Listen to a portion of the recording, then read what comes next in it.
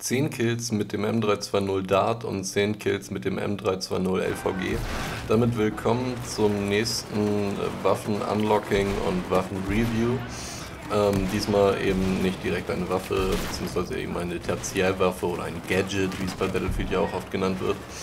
Und äh, für die 10 LVG-Kills äh, habe ich mich einfach mal auf Operation Locker begeben ähm, da geht, denke ich, vor allem gut Conquest oder eben Vernichtung, wie ich es hier gerade spiele, weil äh, bei diesen beiden Spielmodi oft um diesen Punkt, also ich meine, bei Conquest ist es die Flagge C, äh, hier ist es einfach das Panoptikon.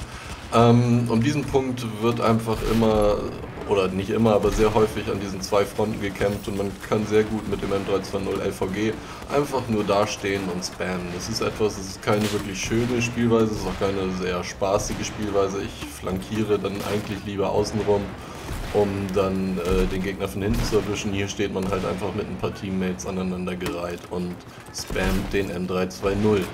Nicht gerade die spaßigste Variante, aber wenn man bedenkt, dass es darum geht, den M320 3GL freizuschalten, ist das wohl der richtige Weg, das zu tun.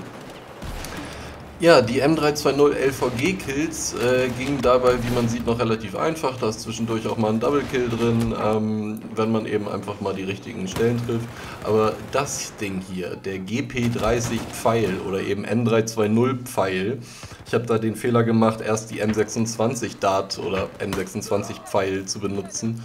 Äh, die geht noch einfacher. Das Ding hier ist die Hölle. Also wo ich hier gerade die zwei Kills in Folge gemacht habe, ich habe Sprünge auf meinem äh, Schreibtischstuhl gemacht, weil ich so froh war, weil mehr als ein Kill war eigentlich nie drin. Der Reload von diesem Ding ist einfach absurd lang für eine Shotgun, äh, im Nahkampf absolut nicht zu gebrauchen. Ich frage mich, warum man diese Waffe ins Spiel gebracht hat, weil sie einfach scheiße ist.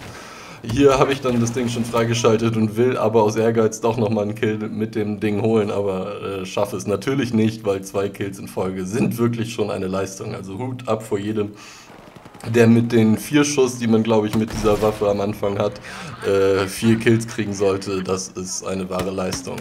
Ähm, ja, irgendwann hatte ich die Kills dann aber zusammen und habe dann den M320 GL ausprobiert und falls ihr euch wundert, dass die Clips, die ich mit dem M320 GL aufgenommen habe, immer so kurz ist, ja, das liegt daran, dass der in etwa so scheiße ist wie der M320 Dart.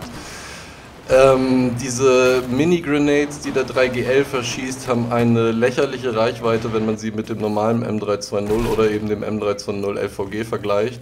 Äh, man muss extrem hoch zielen, um Ziele jenseits der 50 Meter zu erwischen. Und dazu haben sie eine extrem niedrigere Reichweite, also einen sehr kleinen Splash-Damage-Radius und äh, dazu noch einen sehr niedrigen Schaden. So wie man hier sieht, ich hau einfach mal im Nahkampf drei Granaten auf einen Gegner rauf und davon treffen ihn glaube ich auch ein paar, zumindest eben der Splash Damage sollte ihn treffen. Auch hier wieder, ich gehe in eine Gruppe von Gegnern, bei der ich gleich nochmal spawne, um dann nochmal reinzuhalten und was kriege ich? Einen Kill. Also es ist wirklich deprimierend zum Teil gewesen, wie schwach der 3GL war, gerade wenn ich überlege, was es für ein Kampf war, ihn mit dem M320 Dart äh, freizuschalten, weil diese Waffe, die macht einfach keinen Spaß. Ähm, und ja, leider macht der 3GL auch nicht wirklich Spaß. Es ist nicht die NoobTube, äh, wie der M320 in BF3 ja oft genannt wurde. Ähm, es ist einfach nur eine Scheißwaffe. Also wer Lust hat auf eine Challenge, immer her mit dem M320 GL.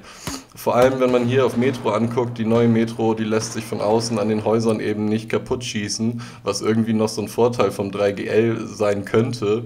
Aber das gibt es eben hier nicht und deswegen mein Urteil, äh, spart euch die Mühe, ihn freizuschalten. Es ist leider nicht wert. Hier sonst das Assignment nochmal, wenn ihr ihn gerne haben möchtet. Äh, ich kann es nicht empfehlen. Weiter geht's dann demnächst mit der SW40. Bis dann.